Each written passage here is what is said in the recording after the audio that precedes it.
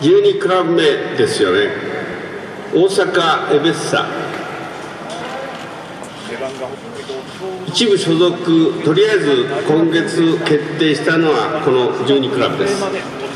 えっと、本当皆さんのご支援いただいておきながらですねこの12チームに入らなかったというのは誠に申し訳ないと思ってます。ただ今まさに、えっと、会見の中でありましたようにうちが1.5という位置づけだっていうのとやはり日本全体の分布図を考えて、えー、チーム構成を考えたいという発言と最終的には16チームではなくて18チームまでも考えたいというようなところはプラスで取るべきかなというふうに思っています。それとちょっと後でまた細かくなってしまうんですが、まあ、いくつかいくつかご指摘されている問題点あの私がずっと交渉してきたんですけども、えっと、改めて先ほど岡事務局長おっしゃってますようにやっぱりうちの場合債務超過の解消とこれが最大の問題点であります。でこれもおかげさまで、えー、持ち株会等をやらせていただいて、えーと、実績積んできてるんですが先ほど来発言ありましたけど他のチームと比べてどうなんだ他のチームに比べてどういうスピードなんだということをやっぱり最後まで言われました。でやっぱりこれがちょっと最後は引っかかったのかなと思ってます。であの先ほどいくつかあるので売上2億5000万これうち言われてません。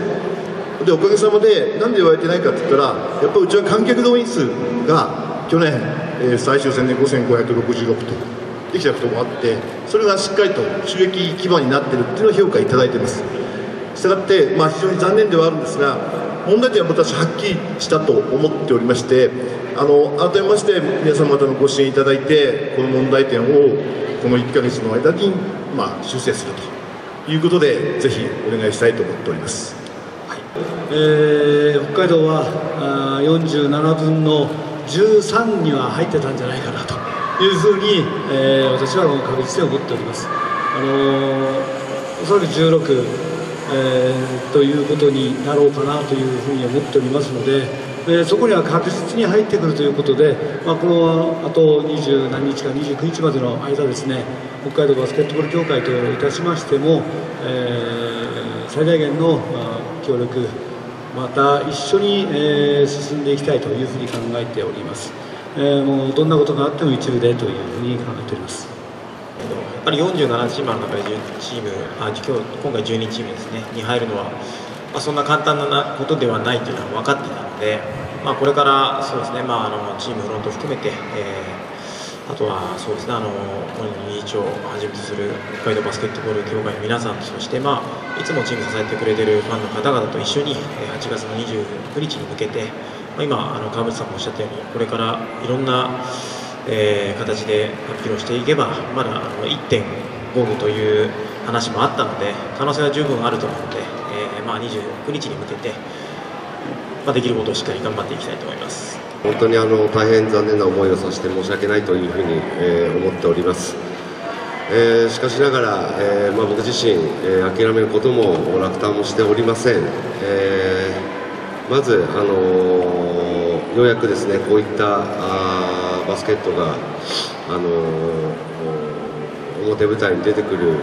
リーグになるということで、まあ、隣に櫻井をはじめ、えー、レバンガの選手またファンの皆さんと共に、えー、一部で戦うっていうことを、まあ、しっかり、この1ヶ月課題を含めてやっていきたいというふうに思いますし、えー、何しろそのまあ、僕の感情になってしまいますけど隣に櫻井を2部で、え、戦わせるわけにはいかないですから、あのー、本当に、まあ、これが自分の使命、えー、責任と思って、えー、しっかり、えこの1ヶ月自分なりに、え努力をしていきたいと思います、えー、また今財政面でいろいろと課題がありますので、えー、持ち帰りも含めてですねあの北海道の皆様に、えー、もう一度ご協力をお願いして、え進めていきたいというふうに思いますしまた自分の身体をかけて、えしっかりとこの責任を全うしていきたいというふうに思っています。